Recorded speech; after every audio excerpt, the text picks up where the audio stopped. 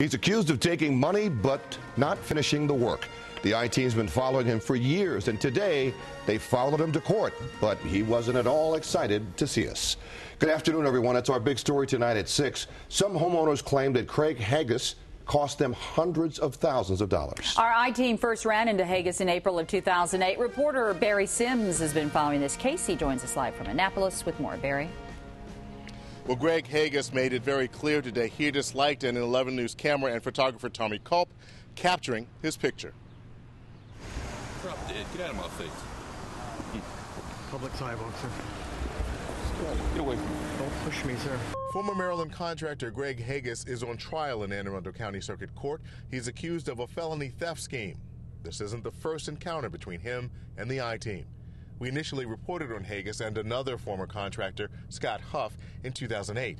After dozens of homeowners complained they paid thousands of dollars for home renovations that were never completed by Haigis and Huff's companies, Arundel Home Connections and Bay Area Design and Build. The Maryland Home Improvement Commission revoked the licenses of both contractors. I want to see justice done. Homeowner Randy Johnson of Edgewater claims he is a victim. He is monitoring the case against Haigis. He says foundation work done by a subcontractor for Arundel Home Connections had to be demolished after the county and an independent engineer inspected it. We had to spend, in the end, $7,000 of our money to demolish it and haul it away. Took $7,000 just to get back to bare dirt. Johnson's complaint was one of the original five indictments against Haigis, but prosecutors are only presenting the complaints of Jamie and David Ernest and another family to Judge Laura Kiesling.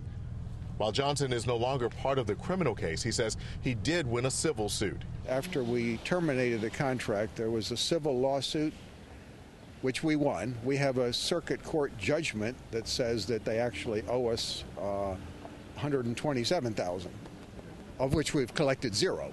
The defense attorney for Haigis, David Putzi, would not comment Monday. Prosecutors must prove that there was a pattern of theft and criminal intent. There's a very heavy burden under current law put on the prosecutors. They have to show intent, which is always very difficult. You can show that the money didn't go for what you thought it was going to, but how do you know that the, they didn't intend to do the right thing? The other contractor, Scott Huff, was not charged. There are two counts of felony theft scheme against Haigis. If he is convicted, he could serve up to 15 years in prison on each count.